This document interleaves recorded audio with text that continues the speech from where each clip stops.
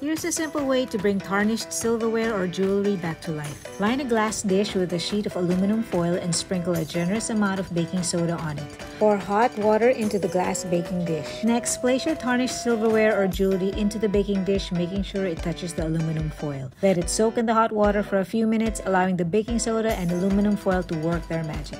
Finally, remove the silverware or jewelry from the glass dish and dry it with a soft cloth. You'll see that the tarnish has been removed and your silver is shiny once again. Don't forget to like and share this post with your friends so they can enjoy shiny silver too.